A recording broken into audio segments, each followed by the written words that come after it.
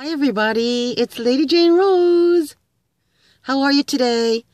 So, I'm waiting for Rob. We had some things to do this morning, and then um, I didn't want to go to every place, so I'm waiting for him. And it's a little chilly, but it's not too bad. It's a little uh, damp today.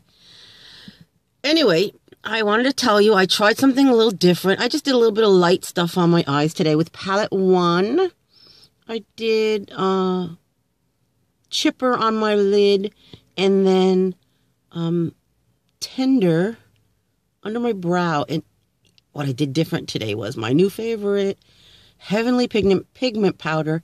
It's a turquoisey in the crease and a little bit under my lashes.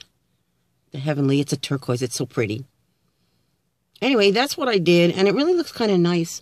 I did forthright in my eyebrows. I know I need a bit of a haircut. Well, I don't want to get it too short. I don't know.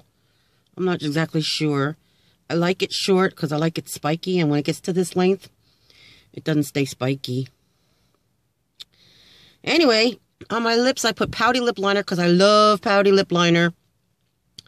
And then I put affluent and I dabbed on a little bit of loaded, which is the rose color. And that's it. That's what I did today. Oh, and you know what? On my on my face today, I did a little bit of BB cream. BB cream with some mixed with some primer for just a lighter coverage. Not too bad. I still like the uh, liquid foundation better, but I didn't really need a lot, so I just for for much for a long time. So I just put that and then a little bit sweet on my lip, on my cheeks. I like that you that I've got, you know, and that we all have the variety. So, um, yeah ladyjanerose.com. You can find all these fabulous products. Have a great day. God bless. Bye.